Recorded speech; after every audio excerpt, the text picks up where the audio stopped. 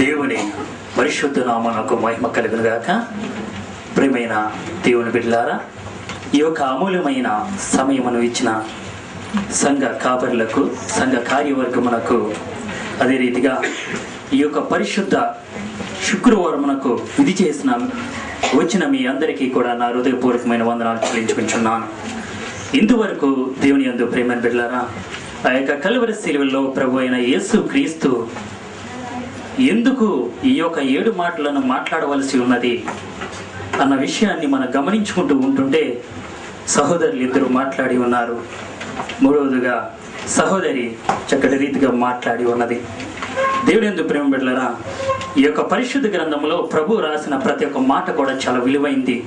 అదే కాకుండా ఆయన నోట వచ్చిన విలువైన మాటల్లో ఈ నాలుగవ మాట ఏడు మాటలకు మధ్య మూడు మాటలు ముందుగా మూడు మాటలు క్రింద మధ్య ఉన్న ఈ యొక్క ఏడవ మాట అంటే ఈ యొక్క నాలుగవ మాటకి చాలా విలువైన అర్థం మనకు కనపడుతుంది.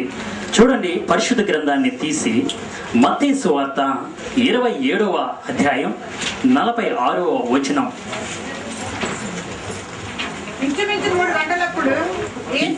ఇంచుమించు మూడు గంటలప్పుడు యేసు ఏలి ఏలి